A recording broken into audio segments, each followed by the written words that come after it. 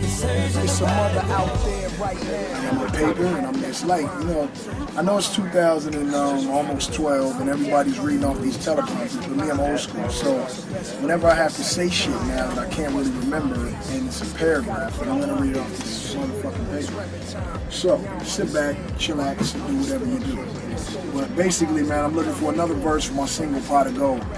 Write or record your best 16 bars and I'm gonna check it out. I'm gonna check that shit out. Yeah, I should have said it like that.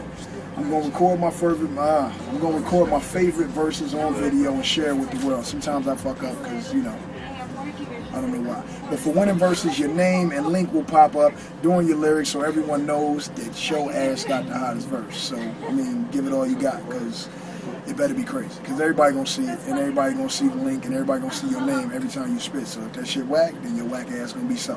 All right. The video will be seen by millions all over the world. This means Venus and Mars too. And you'll be featured on my Facebook, Twitter, websites, and Interscope newsletters. So jump on Facebook.com slash the game or ComptonGame.com for details.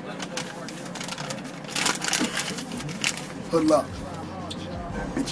For all my soldiers at war as I sit back and watch the ashes on my cigar fall. Wayne just came home and tipped back on the yard, dog. Guess.